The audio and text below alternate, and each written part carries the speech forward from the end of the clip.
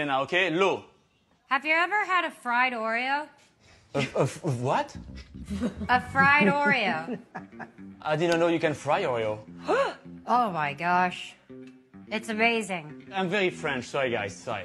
I love it. I'm very uh, frou-frou. Now, Selena, we are going to melt the butter very, very slowly. If your pan is too hot, you're going to cook the eggs right away, and they're going to be overcooked. An omelette, Selena, need to be like a crème brûlée. You know a crème brûlée? I've got to be honest. It's really hard for me to understand you. Coming in for subtitles, creme brulee. Creme brulee. Yes, I do. Selena! That's what I'm I'm saying. Crème brûlée. You eat a crème brûlée. It's very custardy. You know what I mean? It's like a custard. It melts in your mouth. And an omelette should be the same, Selena. The same. Okay. Now add your eggs, Selena. And as you can hear, it's no seasoning. The eggs are not cooking yet. Whew, okay.